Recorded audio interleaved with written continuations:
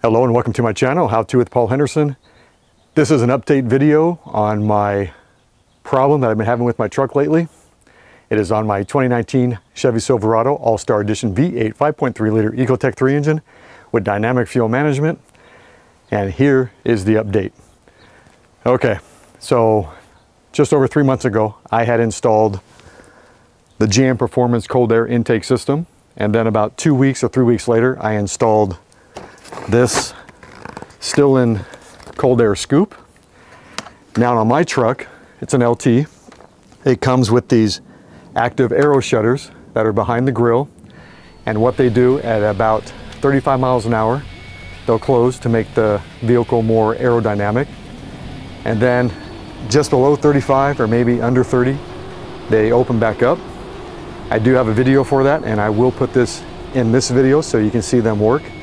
I also posted a four minute video to my YouTube channel that shows a four minute drive. Well, it was like a 10 minute drive. I cut it down to four minutes of those shutters opening and closing and the times that they open and close or the speeds that they open and close. So with that said, here is the problem that I was having.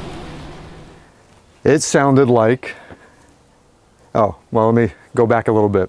At 5,000 miles, my engine's um, passenger side lifters went out, so they had to replace that at 5,000 miles. I now have just over 25,000, which means that right around 20,000 miles had went by. But then about 3,000 miles ago, I noticed there was a, a loud noise coming from the passenger side of the engine compartment.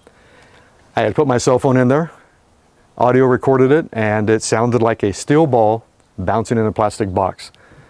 So I figured something probably came loose underneath the valve cover and it was bouncing around, but it was the same rhythm every single time.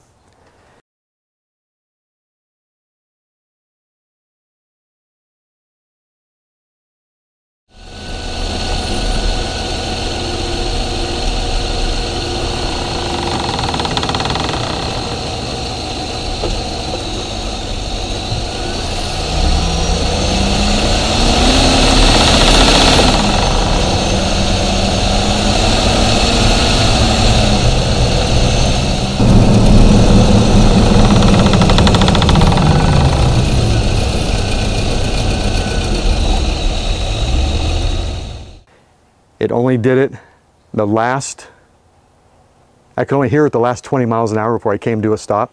Sometimes I could hear it a little bit uh, higher um, in the speed limit, but it was really kind of hard. So took it to the dealership twice. They couldn't find it. And uh, Riverside Chevrolet, thank you very much. You guys didn't charge me for looking at it and I really do appreciate it. Took it back a third time with a new audio recording that I made, and I also posted that on my YouTube channel to ask people what their opinion was. Well, maybe I should have waited before I took my truck in because uh, one guy made a comment that it could have been my Stillen cold air scoop. Well, the mechanic, he was a pretty smart guy. He actually found the problem and he came to the conclusion that it was the Stillen scoop. And sure enough, it was.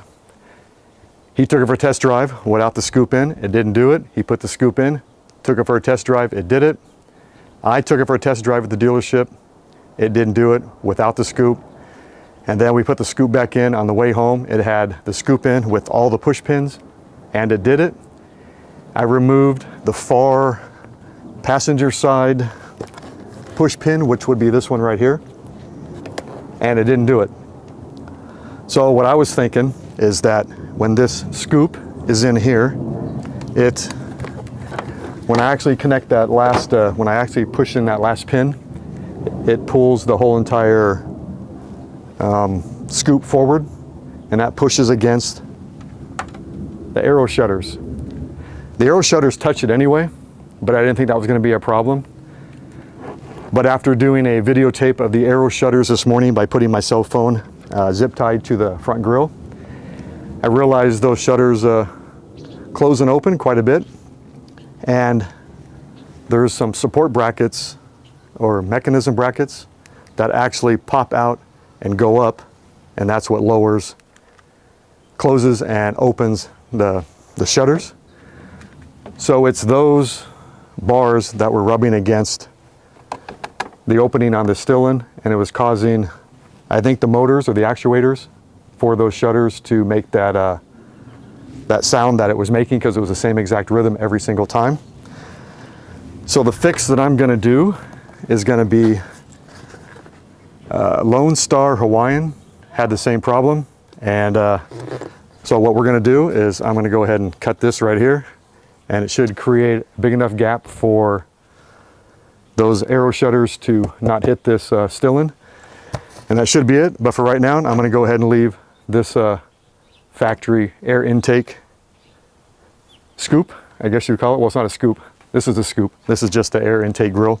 I'm gonna go ahead and leave it in here for right now because I don't need the Stillen in there, but eventually I will do a uh, YouTube video on me um, modifying this so I can go ahead and use it inside, back inside my truck.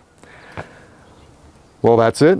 I appreciate you guys watching this and um, I was really confused the last few days of what was going on with this. I really thought there was a loose nut or bolt or ball bearing inside the valve cover.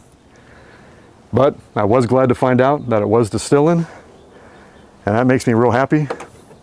So I got my truck back because I'd be pretty bummed if uh, my lifters were going out again. So they're not, so that's a good thing. And I guess that's really about it. And, oh, but for a while, I didn't know what it was. I had put my cell phone here and here, and the mic that was on my cell phone was pointing right in this direction. I was always kind of curious how this things, how these uh, shutters worked. And if I would have did that while it was making the noise with this uh, I would have realized that it was the shutters. So I feel kind of stupid for taking it in, but I will say this, Riverside Chevrolet, they're awesome. They didn't try to blow me off and they did try to find the problem twice. They couldn't duplicate it. And I think what was happening is every now and then when I would wash my truck, this thing would get pushed forward, sometimes it would get pushed back, and sometimes it would rub against it. Most of the time it would rub against those shutters and that's what would cause that really strange noise that you'll hear when you uh, watch the video on my YouTube channel. If you find the other video on my YouTube channel, it's like four minutes long. Well, thanks for watching. Have a great day. And like all my other videos, there will be some bloopers. Actually, no, I didn't mess up on this one. I didn't stop this camera once during this whole entire filming, so it is what it is and have a nice day. And may your car or your truck or your vehicle run nice and cool. Have a good day.